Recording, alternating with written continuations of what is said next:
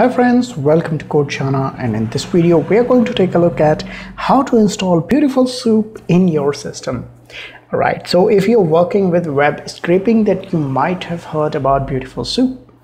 It is one of the great libraries to scrape elements from the web and then use them, well, according to your project. So let's just get started. Alright, I'm going to open my command prompt as I always do. Alright, now let's navigate to our desktop and now let's make a directory. So this one will be bs4 and then example. All right? We don't want to save the folder as bs4 because pip installation will get confused. What do we need to do? So this is the command actually. Now uh, we are going to create a virtual environment in our folder. If you don't know how to do that please take a look in the description below. I have a video there regarding virtual environment so let's press enter. Wonderful. All right now let's activate our virtual environment. Great. Now since we are in our virtual environment i'm going to first install beautiful soup now you might think that it would be as easy as typing beautiful soup but no the command is not that. It is actually bs4 so let's wait a while till that's done. All right? Great. So now let's open our command. All right. So now let's open our code editor.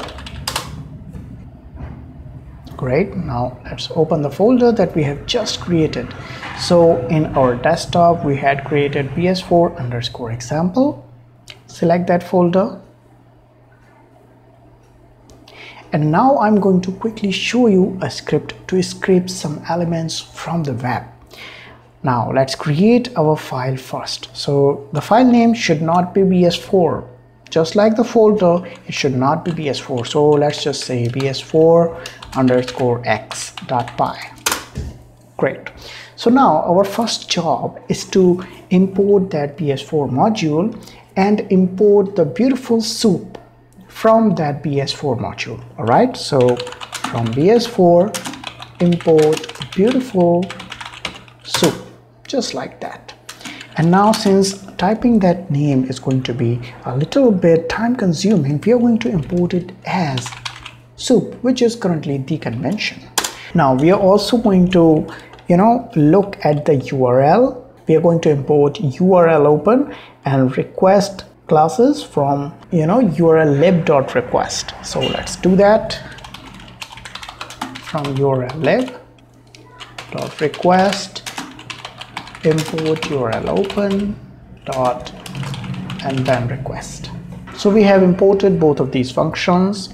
Now if you have worked with some examples of web scraping you already know that when we scrape some elements from the web we actually send a fake user agent information from our computer all right? So that the website knows that this particular browser is accessing the content so that they don't block us right away but make the request too much and they will block your current user agent. So for now let's create a user agent variable. And no it does not have to be all caps. So i'm going to create a user agent for mozilla. And please bear with me as i create this because this line can get a little long. Don't worry i'm going to skip ahead. All right. So as you can see we have this user agent created. It will tell the system that we are accessing it via mozilla. All right uh, well Firefox to be exact with the version number of 65 which is really old. Anyways it is going to work for this example so let's carry on. Now we're going to create a headers variable. We're going to make a request object using our url and our headers variable. So let's do this. Let's create a user agent first. So user agent is going to be well the user agent we just defined above grave mistake there. So that user and then agent. All right now we are going to create a request variable which is to say we are going to make a request object using our request function which we have imported here. So again bear with me here. So request url is equal to the url which i am going to define in just a minute. All right?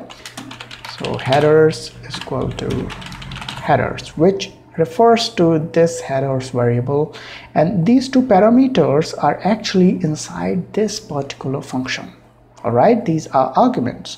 So we currently have headers all right? We don't have url so now let's define a url and i'm going to take my own website https and then anniversary roses.in as the example. All right? So let's see what we have there now we're going to create an html object all right because we have to pass this html object inside the beautiful soup as an argument. Because after that it will give us all the information of that particular url in html format all right after that we can find elements using beautiful soup's find method all right so let's continue html is equal to then url open which we have imported above. We are going to pass in the request object that we have created and then read the content from it. Yes. So now our html object is ready. Now we are going to create a beautiful soup object. All of these are objects all right? We are going to use the properties inside that object. Now you can name it page soup you can name it data container anything so i'm going to name it page soup is equal to and since we have imported beautiful soup as soup i'm going to write soup here. And then we are going to just pass this HTML object right here. And then we are going to tell how this particular object should be treated. So it should be parsed as HTML so HTML dot parser. All right now we can print out this particular object all right? But if you do that your page is going to be filled with uh, so much content then it's not going to make any sense. So let's do that you know? Why should it make sense? Let's use control backtick. Wonderful. So now our environment is not active. So let's activate our virtual environment here. Then python bs4 underscore ex.py so wonderful. No errors there. And our whole page the anniversary roses.in page is currently within our eyes. So the project is done. Take your break drink your coffee whatever. But uh, does it make any sense? Nope let me actually show you the page so that it starts making a little bit of sense. So that's anniversary roses roses.in all right so it is my relationship love and uh, things like that website. Me and my wife are operating on it and we currently have a youtube channel of anniversary roses as well. Please check it out. It is again a little bit of promotion that i'm doing via my programming channel. All right so this is our page. Now what do i want to get from this particular page? Now what if i want to get all the titles of this blog post here? Now let's right click on it. Click inspect. Let's uh, just close this bottom one. We don't need that. So this particular title is currently embedded in h4 tag. So if we get all the h4 tags i guess that will you know generate a list of all the blog titles that i have on this particular page this home page so let's try that shall we? So printing this page soup element it is not going to do us any good. So just delete that. And now we are going to create a containers variable. And now inside page underscore soup object. Yes it is a beautiful soup object. So beautiful. Access the find all method. And now within this you can access any number of things but I want to access only the h4 tag so in you know double quotes or single quotes it's up to you. Just type h4 and it is going to find all the h4s in your page. And once more if you print this one let's just do this. Print containers it did not type that. All right so print containers. Let's just run this code. See, wonderful. All right, so it did give me all the data. Look at this. This is all the data that you currently have which H4 tag, but it is still not making any sense. What if I want to know how many elements are there? So this is a list, right? So we can loop through this list. So how about we do that? So for i in containers, print i.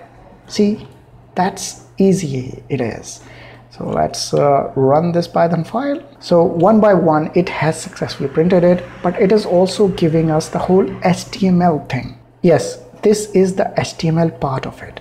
What if i only want to know the title? And the title comes in text form. So all I need to do is type dot text. Let's run this code once more. And yes there we go. And you can do all sorts of things here anyways so this is how you scrape items from a web page using beautiful soup. And this is how you install beautiful soup via pip installation command. So if this video has been helpful to you please do subscribe to Code Jana and for anything related to Python please contact me on my WhatsApp or in the comment section below.